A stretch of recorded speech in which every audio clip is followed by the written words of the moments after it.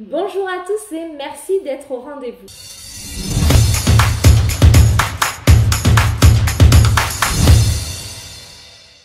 On passe à la question donc de Monica.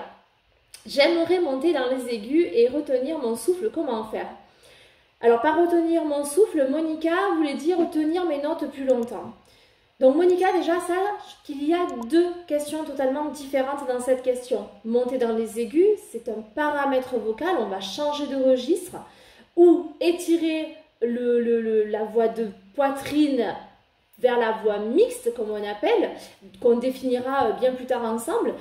Et la seconde question, c'est comment tenir mes notes donc là, on peut le faire autant dans le grave que dans les aigus. Donc, je vais aujourd'hui choisir une des deux. Et celle que j'ai choisie, c'est comment tenir mes notes. Premier conseil, tu vas te mettre debout. Pourquoi se mettre debout? Parce que le fait d'être debout, on va avoir une posture qui est beaucoup plus dynamique, beaucoup plus alignée. Le fait d'avoir les pieds ancrés dans le sol, on va créer une une force en fait naturelle qui va dynamiser notre corps et cette posture dynamique va nous aider à avoir un meilleur soutien.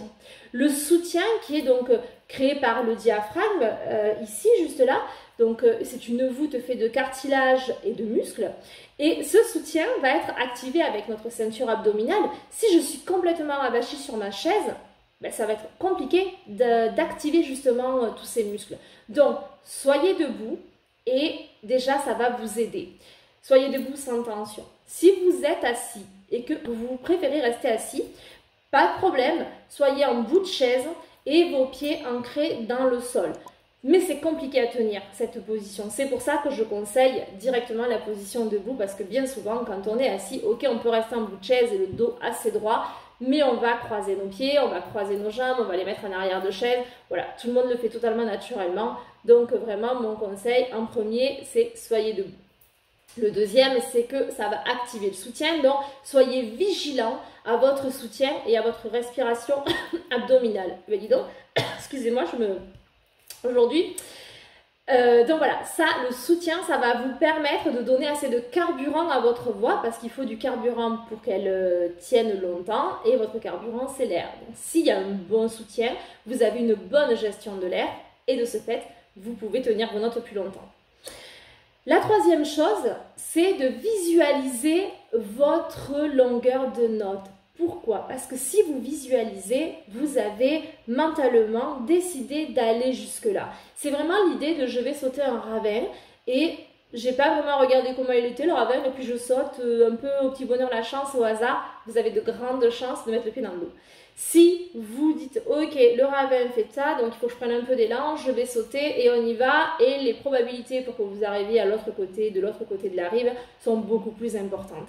C'est exactement pareil vocalement. Si vous ne visualisez pas votre tenue de note, votre corps ne se prépare pas à avoir cette tenue-là. Donc, pour gagner facilement en tenue, visualisez la tenue de note pour pouvoir préparer votre corps au niveau du soutien, au niveau de l'accollement des cordes vocales, au niveau de tout un tas de paramètres qu'on parlera au fur et à mesure de ces vidéos, mais en tout cas, votre corps sera préparé. Qui m'en vient au quatrième point, et je viens de le dire juste à l'instant, c'est de réaccoler vos cordes vocales. Pourquoi? Parce que si vous créez une fuite d'air, vous perdez de l'air. Alors pour rien, entre guillemets, euh, pour en tout cas pour le cadre de la tenue de note, parce qu'un air qui fuit, c'est un falsetto, c'est une voix qui est très utilisée, qui est très belle et qui est un style vocal et euh, ça donne un aspect beaucoup plus euh, ou sensuel ou plus petit. Par exemple, le falsetto. Voilà, donc on entre, ouvre légèrement nos cordes vocales et on envoie de l'air. Le falsetto, exactement, c'est un mode vocal. Voilà. Donc, euh, il y a plusieurs modes et on est dans un mode vocal différent. Si on accole nos cordes vocales, et là, du coup, on n'a pas de fuite d'air. Le fait de ne pas avoir de fuite d'air, on a plus de carburant pour tenir notre note.